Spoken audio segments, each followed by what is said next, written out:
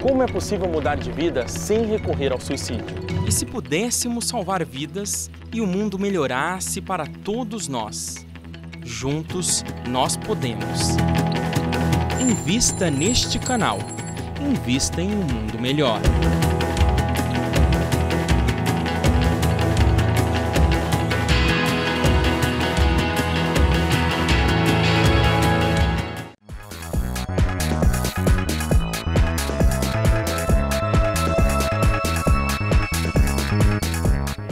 Estamos de volta para o quarto e último bloco do programa Oficina da Mente, aqui na TV Mundo Maior, falando sobre a prosperidade e o espiritismo. E nós terminamos o último bloco, Pazan, falando aqui sobre a questão do até do seu livro, né, a prosperidade Sim. em 42 dias, como alcançar isso, e falamos também dos bônus hora. Isso. A gente sabe até pela obra de André Luiz que no plano espiritual tudo é feito de uma maneira ao mesmo tempo semelhante ao plano material, mas de uma maneira muito mais positiva e mais organizada, né? Como Sim. a política, a organização das pessoas, o trabalho e até essa- esse sistema de recompensa. Agora a questão que eu levanto é: se a gente aprender aqui, enquanto encarnados, a lidar melhor com o dinheiro, com as pessoas, com as organizações, com hierarquia, com poder, a gente chega mais preparado para lidar com essa realidade no mundo espiritual também, né? Ah, não tenha dúvida, né? Não tenha dúvida. Aqui na Terra, nós temos um grande laboratório. A nossa, a nossa forma de expressão, ela é um pouco assim, é, um pouco confusa.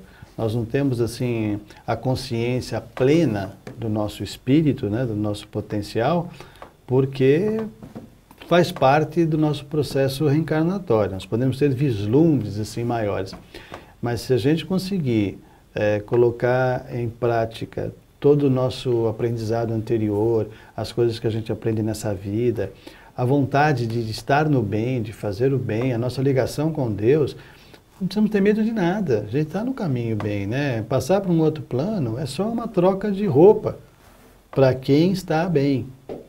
Quem ainda não está, que tem apego, então quando desencarna, fica um pouquinho meio perturbado porque tem os apegos. Sim. Então é como se tivesse um peso muito grande para carregar, inclusive apego ao corpo. Né? Que é um apego à matéria muito Exatamente. arraigado, né? Exatamente. Então a gente tem que trabalhar a morte em vida. Morrer cada dia, mas é de uma forma legal, né? Não que De uma maneira morte... positiva, né? É, gente, eu estou falando, mas não quer dizer que eu ah, vou passear onde? Acho que eu vou no cemitério. Não é isso. Claro que a gente tem medo de morrer. Será que, né, que vou chegar lá? Será que eu fiz as coisas direito? E também não é já comprar o caixão, né? preparar Não, enterro. não é nada disso. Mas é pensar numa boa, sem, sem ter receio. Exatamente. O Reginaldo Max, através do Facebook da TV Mundo Maior, mandou uma mensagem pra gente, respondendo à pergunta. Tá. Nós perguntamos: é possível ser próspero espiritual e materialmente? E ele mandou a seguinte resposta: é evidente que sim, e será ainda mais feliz se a sua prosperidade beneficia o próximo. Muito bem, Reginaldo, né? É Reginaldo, um mesmo. abraço, Reginaldo, obrigado. Então Que ele é ver- pegou isso que a um gente falou, né? Que a verdadeira felicidade, de, é, o bem né, de quem pratica a caridade, de quem ajuda, é essa sensação né, de, de poder ser útil, que só quem faz que pode... Que consegue sentir isso, né? Exatamente. Pazian, Senhor. tem um espírito chamado Emmanuel, você deve conhecer. Sim, claro. Né? que através da mediunidade de Chico Xavier escreveu um livro que chama Palavras de Vida Eterna. Sim, senhor. E nesse livro ele é, elenca cinco pontos que eu acho interessante a gente trazer para o programa e até comentar um pouquinho sobre eles, que é exatamente falando sobre o dinheiro. O primeiro ponto é: o dinheiro é um perigoso tirano de quem o escraviza. Nós falamos no início. Exatamente. Né? É, se a gente viver em função do dinheiro, eu, ainda aconteceu um fato com relação a isso. Eu vinha conversando com uma pessoa no celular e ela estava encontrando uma pessoa que ele tinha muito dinheiro, tudo, e ele não se preparou para se aposentar. Sim. Ele sabia, mas não quero fazer mais nada, e agora ele está mudando a personalidade dele. Porque ele tinha muito dinheiro e ele vivia de uma forma. Agora ele tem que saber se contentar com menos. Claro. Então ele está se tornando uma pessoa irritadíssima. E não é menos que falta. Não, aqui não tem as... As, As regalias, né? Isso. Então a gente estava conversando sobre isso, sobre a influência do dinheiro é, é, ele não está faltando, mas ele tem medo que falte. É a falta de fé. Sim. Então, com certeza o dinheiro tem um peso muito grande na vida dessa pessoa e de muitas outras. E a gente tem que tomar cuidado com isso, porque às vezes nós temos esse peso também e a gente não está percebendo. Exatamente. O segundo ponto. Quando encarceramos o dinheiro, ele nos encarcera. Mais uma vez tem bem a É. ver com o que a gente já falou, né? E Isso. até com o primeiro item da escravização do dinheiro, Sim. né? de servirmos ao dinheiro. O terceiro item que ele fala é o seguinte: ele deforma corações que os segregam ao vício. Ou seja, ele acaba atacando a parte emocional quando você usa ele de uma forma viciada. Nós falamos também né, dos políticos e Sim. tal, que chega ali, usa o dinheiro e desvirtua os valores. Valores que muitas vezes pautaram a carreira da pessoa. Mas chega ali e vê um mundo diferente, tudo é muito fácil e, e realmente o dinheiro é uma aprovação danada. Interessante você ter levantado essa questão, que até tem a ver com os políticos. A gente pode falar de todo mundo que de alguma forma usa o dinheiro de uma maneira Isso. ruim. Porque o quarto ponto que o Emmanuel levanta no livro Palavras de Vida Eterna é ligado às inteligências perversas é causa de lágrimas para viúvas e órfãos. É. Ou seja, quando isso é usado de uma maneira maligna, poderíamos dizer assim, você pode acabar até atingindo outras pessoas e levando a dor, o sofrimento para elas também, né? Não só para você. É, é como uma teia, né? Assim como o bem também, ele frutifica, ele se ramifica, melhor dizendo, o mal, infelizmente, também. Então, tem muitas pessoas que, utilizando o dinheiro de uma forma assim, errada, muito errada, acabam criando uma rede de, de, de malefícios incrível, que vai levar muitos séculos e muitas vidas para poder recuperar isso. Até porque pode atingir muita gente, né? Mas atinge mesmo, né? A gente sabe que atinge. E ele finaliza com um quinto e último ponto que eu achei bem interessante, que o dinheiro orientado na direção do progresso é fonte de luz para toda a humanidade.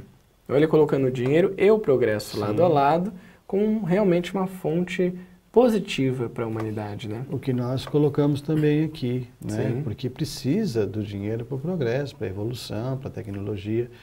E Emmanuel, né, que foi o espírito que trouxe muitas mensagens com o Chico, ele tem um livro também, que foi publicado pela ID de Araras, Instituto de Difusão, acho que é a ID, é a ID, chamado Dinheiro.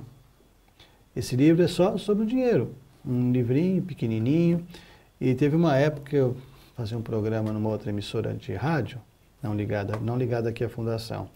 E nós fazíamos promoção. Então a gente fazia, o pessoal comprava o livro Prosperidade em 42 dias e nós dávamos de presente o livro ah, Dinheiro. A gente Que bacana. comprava e dava de presente. Para quê? Para mostrar para as pessoas que o dinheiro tinha que ser bem utilizado. Claro, sem Isso dúvida. foi muito bacana. Inclusive, me parece que esse livro está até sem editar já faz algum tempo. É, Não é sei difícil de achar. Eu tenho se- uma, uma edição dele, mas eu achei assim, uma banca de jornal que vende alguns livros espíritos e eu vi esse lá, É, dinheiro. Não sei se é pressão que o pessoal faz, porque até esse livro teve pressão também. Ah, sem dúvida, né? Inclusive, Pazinha, você leu os meus pensamentos. Leio. Que a gente não tinha combinado isso e eu trouxe uma frase do Chico desse livro. Que Exatamente dele, que foi publicado em 1990. E nesse livro tem uma mensagem, claro, através da mediunidade do Chico, que diz o seguinte: o dinheiro, nas garras da mesquinhez, é metal enferrujado, suscitando a penúria. Mas um vintém, a serviço de Jesus, pode converter-se em promissora sementeira de paz e felicidade. Que ótimo. Para fechar o programa Com com, chave, chave de ouro. De ouro em todos os sentidos, né? Em todos os sentidos, literalmente. Literalmente. Pazé, agradeço por mais um programa, por mais um debate aqui de ideias, de Muito bom. compartilhamento de experiências. Eu vou pensar nisso tudo agora para tentar ser um pouco mais próspero. Claro, todos né? nós. Reforçar isso. Todos nós. E você que está nos assistindo, você que acompanha a TV Mundo Maior pelo YouTube, se você gostou desse programa, de toda essa série que está falando sobre padrões mentais, deixa aí a sua curtida, compartilhe com as pessoas que você sabe que podem precisar desses vídeos e principalmente inscreva-se no nosso canal, porque assim você tem acesso a milhares de vídeos Sério, são mais de 8 mil vídeos falando sobre a doutrina espírita produzidos exclusivamente pela TV Mundo Maior. Então entra lá no youtube.com barra TV Mundo Maior e inscreva-se no nosso canal. O programa Oficina da Mente fica por aqui. Nós deixamos um enorme abraço para vocês e nos encontramos na semana que vem. Fiquem com Deus e até lá.